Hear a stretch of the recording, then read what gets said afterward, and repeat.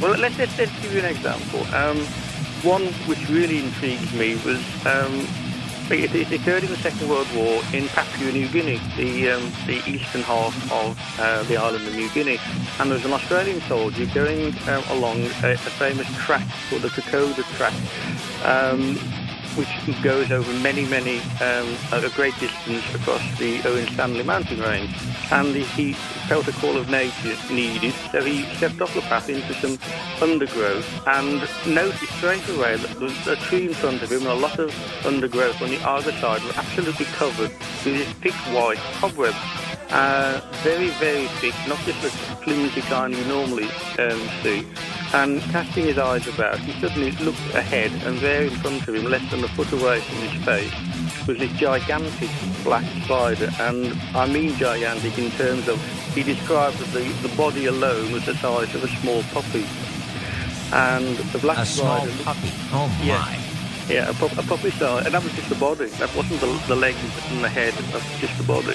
Um, he said the legs actually weren't that long. Sometimes you get, you know, small body disproportionately long leg spiders. This was tended to be the other way. that the legs were broad, but not particularly long. It was the body that was so huge.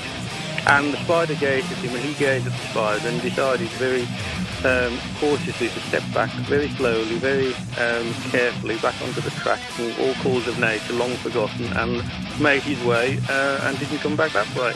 And also during the same period, um, during the Second World War in Papua New Guinea again, an American soldier, uh, this time close to the capital of Papua New Guinea, Port Moresby, um, encountered um, another, even larger, he, he said it was about three to four feet across, and it had a bright, unusually for spiders, but not unknown, it had a, a bright emerald green uh, body and wasn't hairy. Most spiders are famously or infamously hairy, but this one wasn't. And again, he, he bid a hasty retreat uh, upon seeing it. Uh, you know, they're two quite different spiders, but both, you know, unusually, exceptionally large in Papua New Guinea. Uh, let me just, I want to make sure that, that we have the connection uh, correct here. Uh, and I didn't mishear what you said. Did you say three or feet, four feet across? Yeah. Suddenly, you know, it doesn't matter whether it's hairy or not. That's just one big spider. Oh, yeah. Uh, and, and, uh, what is it about Papua New Guinea? Uh, you know, as a cryptozoologist, you've no doubt heard, uh, you know, the, the, the, legend of the ropen and uh, these, oh, these uh, pterosaurs or pterodactyls that supposedly. one of the first people to actually um, make, make that news public back in the late 1990s when that news of that came my way. So, yeah, I know the ropen. There you go. What is it about Papua New Guinea? it must be a cryptozoologist's, uh, you know, dream to, to, to go well, there. It's, it's the second largest island, not, not counting Australia, which is an island continent. It's the second largest island in the world. Only Greenland is, is larger. And it's 70% or more covered by uh, virgin rainforest, m- much of which has never been explored, even today.